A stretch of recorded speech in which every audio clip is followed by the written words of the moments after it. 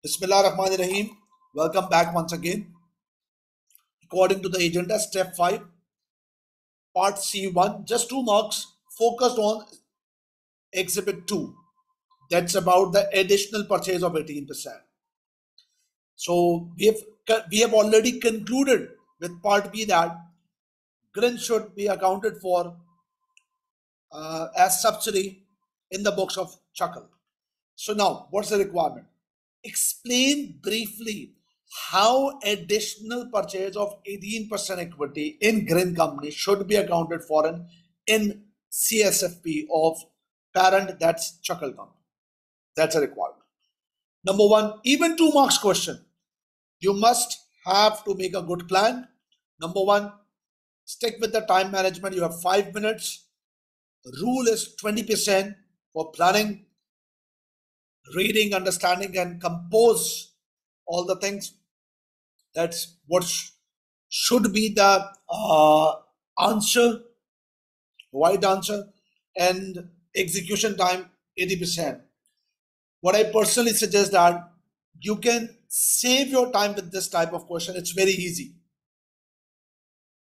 If uh, allo allocated time is five minutes, you can uh, come what I personally think you can complete by three or three and a half minutes. So one or two minutes, if you can save here, that that's uh, will be very valuable for you because some other part of the questions or some other part of the exam paper requires more time.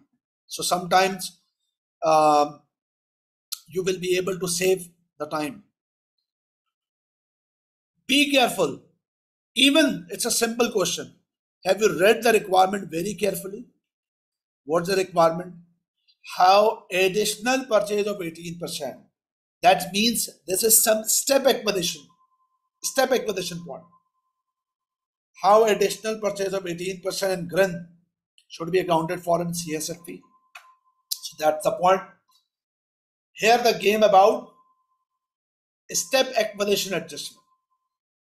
And focus with this exhibit, exhibit 2.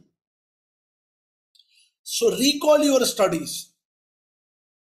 Whenever parent start acquisition accounting, that's called calculation of the goodwill. So the first, the very important thing, the cost of investment, cost of investment must be at fair value at the date of acquisition. So here with a step third, the latest 18%, the second year, the latest 18%, already at fair value at the date of acquisition, that is 1st April X6. But the original 13%, 30%, original 30% that was invested by two, uh, that was invested two years ago. If that invest, if that 30% investment not yet accounted for according to the fair value, which of course not at fair value. So the company must have to make a fair value adjustment. So previous 30% investment must have to adjust with its fair value and make an adjustment called step acquisition adjustment. So this is your studies. Huh? This is uh, what the regular studies part. So the point is that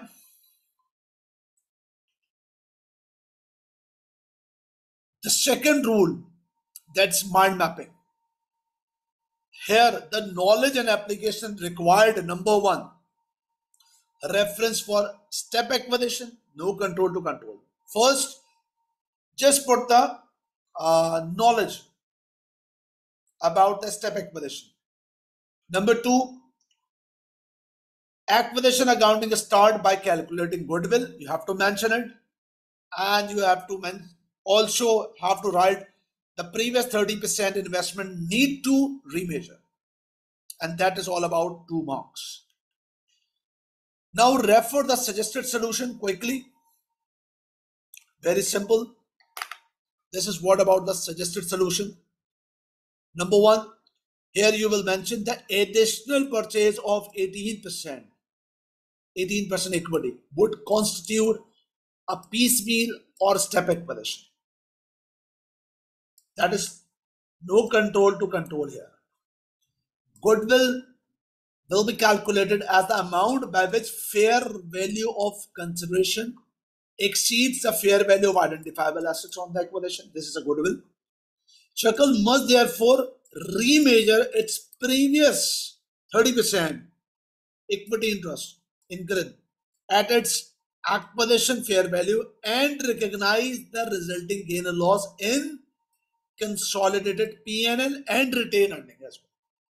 Do remember this adjustment you need to consider with last part by correction of error with respect to correction of error or uh, this is so called the missing figures.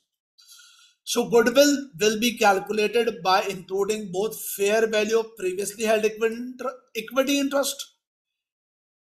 Once again, goodwill will be calculated with the cost of investment by including fair value of previously held equity interest and the fair value of additional consideration.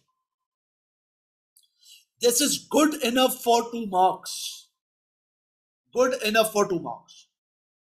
But I have incorporated the reference of tutorial notes by Kaplan. And this is actually the reference of your syllabus area. Whenever, whenever the accounting shifts from associate to subsidiary, then the wording of the accounting standard is that in the group accounts, you must assume that or treat a step acquisition that's achieve control as if the group has assumes that. Sold the 30%, sold the original 30%, and bought back the entire 48% in one go at the point control is achieved. So we will assume that. Sold, assume it's only the assumption, assume 30% we have sold and entirely 48% acquired. That's why we are actually making fair value adjustment of original 30%.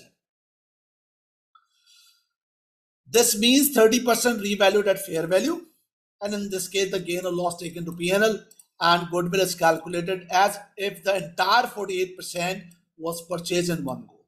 Consideration will include the amount paid for 18% and the newly revalued fair value of 30%.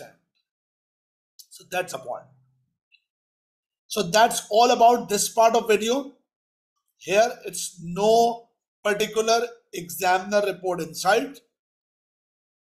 So that's all. It's a very simple aspect. There's no uh, complaint by the examiner as well. So thank you very much about this part of the video wait for the next video. Jazakallah khair. Assalamu alaikum.